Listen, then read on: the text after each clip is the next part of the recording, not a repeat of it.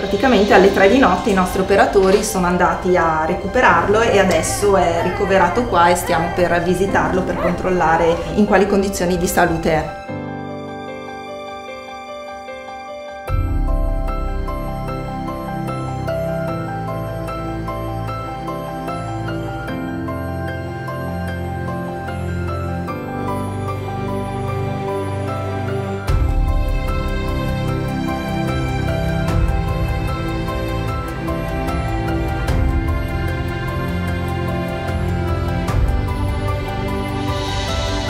Vecchio a Calappia Cani, che saremmo noi, insomma, e tutta gente che ama gli animali, se no questo lavoro non potrebbe farlo.